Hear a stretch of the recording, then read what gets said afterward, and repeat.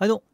サブチャンネルの僕ですということで、まあ、いつもというか、まあ、結構最近増えてはきているんですけども、あのこの間の鹿島戦は多分やってなかったと思うんですけども、まあ、この、えー、試合後、試合翌日ですね、試合翌日に、まあ、メインチャンネルでは語っていなかった部分とか、まあ後からちょっと思い返して、あれちょっと触れればよかったなとか、ね、思うことをこのサブチャンネルの方で話していきますので、えー、まずメインチャンネルの方です。ね、よかったら動画概要欄の方から、えー、メインチャンネルの方の登録もよろしくお願いしますということで、まあ、あの本音ののところじゃないですけどもね、まあ、そんな大げさに本音は語ってはいないんですけど、えまず、いや浦和と横浜 F・ マリノスのゲームでございますけどもね、まあ、本当、えー、よかったですね。まあ、そう、今回もラジオ的に語っていくので、まあ、何かやりながら、本当、えー、適当にね、聞いて、聞き流してくれたらいいんです。本当、画面はこれ以上変わりませんのでね、え、よろしくお願いしますということですけど、まず本当ね、浦和、ね、マリノス、苦手マリノス、相手にね、勝ったのは本当に良かったですね。まあ、えー、そんな良かったねと言いながらも、えー、ちょっと僕のですね、完全なミスとというか、もっと自分を信じれば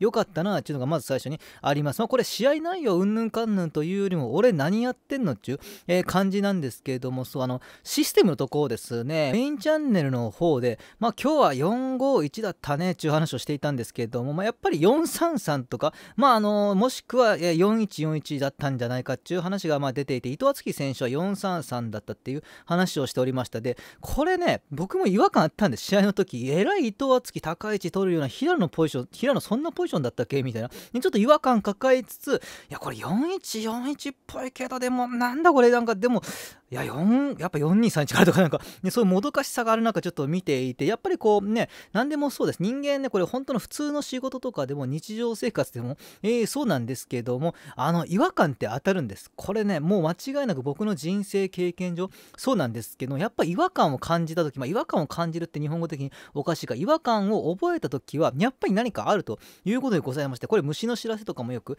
言うんですけども、自分のこのね、違和感をもっと信じて、そこ深く見ていけばよかったなっていうのがあったんで、これは本当僕の完全なミスでございます。本当ね、まあ、僕は本当ね、戦術語ってるつもりはないんですけど、もうこうね、まあ、今だから、今だからこの言える話ではあるんですけど、裏木さんですね、裏木チャンネルさんに出させてもらったことがありました。まあ、コラボとして、えー、夏場に出させてもらったんですけど、あの時も要さんですね、管理人の、えー、要さんから、いや、もうパロプンデさんって言ったら、あの、戦術なんでって、あの、裏の DM でやり取りを、えー、したんですけど、僕は戦術は語れませんっていう話でございます。ざいます。結局僕が語っているのは試合を見ていた。でその試合の中で起きたことを話している。だけでこう戦術っていうのはあんまり自分の中でこう語ってるつもりは全く本当、えー、なくて。そんなね自分なんかが戦術語れるような知識は正直ないですので本当にこれ戦術語れる人って多分改善点が指摘できる人なんです。例えばこう僕のレベルで言うとこのねここうまくいってないよねまで気づくことができるんですけどじゃあこここのうまくいってないことを選手交代以外でですね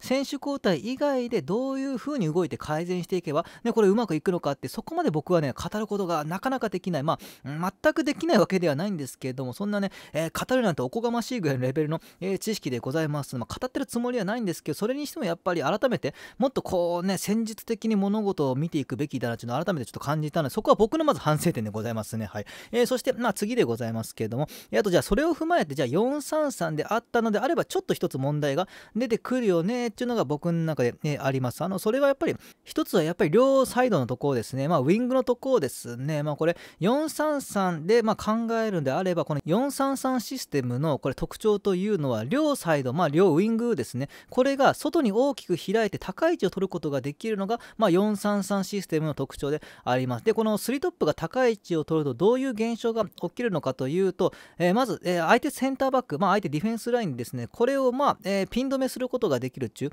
話になります。まあ本当ね、現代サッカーってハイラインっていうのがやっぱりありますよね。特にマリノスとか横浜 F マリノスとか、そうですけど、やっぱりハイライン、まあ、どんどんどんどん最終ライン上げてくるっていう話になりますが、これをだから極力コンパクトにさせない、コンパクトさをあえて失わせる、まあ、間延びさせるみたいな役割を433であればできたんじゃ、もっとできたんじゃないかと思います。まあ、浦和レッズの3トップがもっと高い位置を取ることができたら、まあ、こう、極端に降りてこずですね、降りてこずに、まあ、もっと高い位置を取ることができたら、横浜 F マリノスのこれディフェンスラインもそんなににこうむやみに高い位置を取ることができない、まあ、背後取られたくないんでね、これ、だから3トップ、浦和の3トップが高い位置を取ることによって、マイナスの守備陣を下げることができる、そういう効果があるんですけども、そこまではさすがにまだできていなかったなっていうのが、うん、ありますね。だからこれが本当完成すれば、3トップを完成させるのであれば、まあ一つアンカーの使い方とか、どうやってアンカーの選手をフリーにしてうまいこと経由しながら、まあ、ボール運ぶかとか、まあ、3トップもっと高い位置取った方がいいよねとかにはなってくるんですけど、そこまではさすがにいっていない。まあ、これはしょうがないと思います。まあ、そもそも3トップをこれ、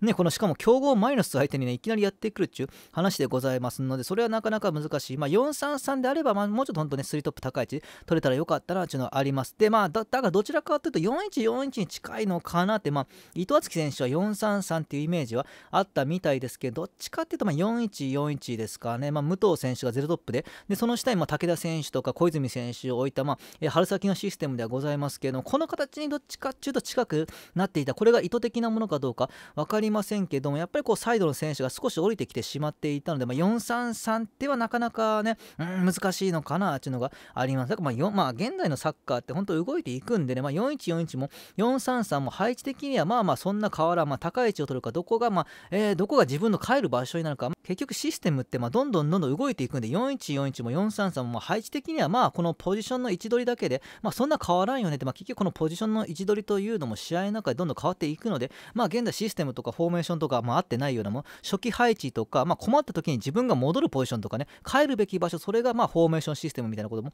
えー、言われてはいますけれどもそういうことでございます。本当ただね433ちょっと希望は、えー、見えたんじゃないかって思います、まあ、関根がまさかインサイドハーフかとか、ね、ただ伊藤敦樹選手のこの特徴は一番出たんじゃないか。このね433とか、まあ、4141のこれねここであ伊藤選手そこで使うのかって感じになってきますけどもあのでもね伊藤選選手のあのダイナミックな動きあの攻撃のセンスは、まあ、元から多分あったと思います、まあ、本当ねヴィッセル神戸戦だったかなあのルヴァンカップ。ルヴァンカップのあのファーストレールか。で伊藤選手のこの活躍っていうのが確かあったと思うんですけどもあの時も伊藤敦樹選手がダイナミックに動いてそしてま得点に絡むみたいなこともありましたのでね、まあ、そういうことで考えるとやっぱりこれ伊藤敦樹選手の動きというのは僕はこれねこのシステムにマッチするんじゃないかと思っておりますけどもね。なのでまあ柴戸の活躍もあったんですけどもね今シーズンはですねまあ伊藤敦樹ここにありっていう感じがして本当期待できるような感じがまあしましたけれどもね。そしてまあこれによってちょっと補強がどうなるのかっていうのも個人的には、うん、あってで、まあ、一つやっぱ伊藤選手、多分センターバック最終的にやるんじゃないかっていうのが僕の中であって、やっぱりね、現代のセンターバックの選手ってやっぱり足元のパス的な能力ですね。これ、パサーとして能力、ビルドアップ能力もセンターバックに、まあ、求められる時代になって、じゃあセンターバックやらせる前に、一旦ボランチでそのね、この攻撃的な部分とか、まあ、パサーとしてビルドアップ能力とか足元のうまさをまボランチで一回鍛え上げるみたいな、ね、このパターンっていうのは結構あるんですけども、まあ、それと一緒で、まあ、伊藤敦樹選手も一旦ボランチで、まあ、もともとボランチもできる選手なんで、ね、えー、っていうのはあったと思うんですけども、まあ、予想以上にこの4141システムでこの試合に関しては少なくともハマったということで、やっぱりこれね、この、まあ、高さもありますからね、これ、高さもあるので、この大型ボランチとして僕は期待したい部分もずっと、うん、ある。どうしてもやっぱこう、日本人のボランチって、まあ、どっちかっていうとこう小柄で、ね、この賢い選手とかが、うん、多いんですけども、本当ね、海外とか見ていくと、やっぱりこれ、センターバック、このまあ最終ラインですね、ディフェンスラインの一つ前に背の高いボランチがいるっていうのは結構これ、まあ、効果的に働くことが、多いのでね、そういう意味ではまあ伊藤敦樹、僕はセルヒオ・ブスケツ、ね、ブスケツ的な役割を、ね、伊藤敦樹に任せたいなっていうのが、えー、ずっとなったんですけども、ね、本当ここに高さがあって、足元上手い選手が、足元が上手いっていうか、まあ、パスが出せる選手がいれば、まあいいよねっていうのがあったんで、ね、そこ、伊藤敦樹に期待はしていたんですけども、まあ、しかし、まあえー、今年柴戸選手が覚醒してで安井選手も来季入ってくるとかいろいろ考えると、まあ、あと平野選手もいるのでって考えるとやっぱり伊藤敦樹はセンターバックなのかなって、まあえー、1週間2週間ぐらい前まで思ってはいたんですけども、まあ、ただこれはね面白いなこのシステムやるなら伊藤敦樹十分やれんじゃねえかっていうのは、まあ、この試合だけで判断するのも危険ではあるんですけれどもね、まあ、長い試合を見て、まあね、これ考えないといけないんですけど少なくともこの試合ではちょっと明るい未来が見え見えたんじゃないかって感じがするのでね、まあ、それはいいんですけども、そうなるとちょっとじゃあセンターバックの補強が、ね、必要になるのかとか、まあ、まあ、ぶっちゃけ伊藤敦樹がセンターバックもボランチもどんどんやれば、いいんですけども、そこちょっとね、この優先、補強の優先順位が少し変わる可能性があるかなって感じが、うん、しますけどもね、まあ、本当は僕は多分伊藤敦樹は最終的には、ね、サイドバックとか、まあ、センターバックとかディフェンスラインに入るんじゃないかって、まあ、思ってはいるんですけども、まあ、まだそれは早いのかな、まあ、もう1年ぐらい、もう1年2年ぐらい中盤やらせてもいいのかっていう感じがうんしますけどもそれでだからどうなのかっていうのはやっぱりあります。まあやっぱり牧野が対談してでやっぱり今のところ右サイドバックのとこもまあ酒井宏樹の次が西で今日は今日とかまあ昨日の試合は西選手も良かったんですけどもちょっとやっぱりねちょっと不安定な守備のところも西選手あるのでまあこの辺を伊藤敦樹選手がね後ろまあ4バックどこでもできますよとかねボランチもできますよとかまあインサイドハーフもできますよみたいな選手になれば一番まあいいんですけどもまあやっぱり手に職をつけるじゃないですけどね器用貧乏で僕は終わってほしくない。やっぱサッカー選手ってまあ器用貧乏になってしまう選手も多いんでね、まあ、例えば山村選手とかフロンターレの山村選手とかそうですけれどもね、まあ、やっぱ僕は器用貧乏でサッカー選手終わる選手にはなってほしくないので、まあ、ここっていうポジションどっか見つけてですねやってほしいんですけども、まあ、どうなるか。そしてあとやっぱ金子選手ですね。昨日、出場した金子選手ではあるんですけどもちょっとこの酒井宏樹選手と息が合わなくて、まあ、出した先が結局オフサイドポジションであったとかそういうこともありました。ちょっと試合感のっていうのは不安にはなったんですけども、まあ、うんこの433システムとか4141であればちょっと金子選手も居場所はありそうではあるんですけどもそれにしてもちょっとねちょっとやっぱり補強がやっぱり必要じゃないかとか、うん、言われていて、まあ、金子も僕は来季どっか行くんじゃないかって、えー、思っております。京都サンガとかね、まあ、サンガとか湘南とか、まあ、湘南とかも僕はあるんじゃないかって思ってはいますし、まあ、金子選手欲しいチーム J2 でも J1 でもどこもあると思うんで人気銘柄ではあると思います。でそういうことを考えるとまあなかなかね、うん、難しいのかなって、うん、今多分この試合まあ多分昨日の試合の段階のボランチのこの優先度じゃないですけどもねそれを見るとやっぱり平野柴戸が1番手にいてこのダブルボランチですね。ダブルボランチでやるのであればまあ平野平野選手と柴戸選手がいてでそこに伊藤敦樹選手がちょっとやっぱり食い込んできた。もう一回これレギュラー争いに食い込んできたのが伊藤敦樹でまあこれが3人ですね。これにだから4番手でま金子選手になってくる可能性が、うん、あるのかなってまあ見ています。でそこに安井選手も入っていく、まあ、安井選手もスーパーな選手。まあ本当スーパールーキーでございますのでそういうことを考えたら、うん、来季金子選手がもしかしたら4番手5番手になる可能性もあってなるとやっぱりまだまだ若い金子選手、まあ、オリンピック代表候補にも入っていた選手なのでそれが幸せなことかというと決してそうではないので、まあ、本人のためにも移籍先を探してあげるのもいいのかなって正直このマリノス戦見て思いはしましたけどもねはいでまあそういうことでございますねあとまあうんまああとちょっと細かいこと言うと433であればやっぱり江坂が生きないなっていうのが、うん、ありますやっぱりね433で江坂使うのであればもうちょっと役割はっきりせないかんよね、まあ、降りてくるのか。で降りてくるのであればそこはやっぱりこれ なかなか厳しいものがあるのでねこれストライカー的な選手が最前線いないとねサイド攻略しても中にフォワードいませんみたいな状態ちょっとまずいんでね。そういう意味で言うとやっぱりこれ433をやるとかであればまあねちょっとストライカー欲しくなるよねっていうのがうんあります。だから今日の形でユンカー見たかったなとかまあコールキ頭から見たかったなっていうのが正直、うん、ある。まあ江坂であればどこでもね433でもどこでも居場所はあります。まあ居場所もありますしまあ中央で使うのであれば4141で小泉江坂並べることかまあいろんなオプションは増えるんですけどもまあただ、最前線でやっぱり江坂は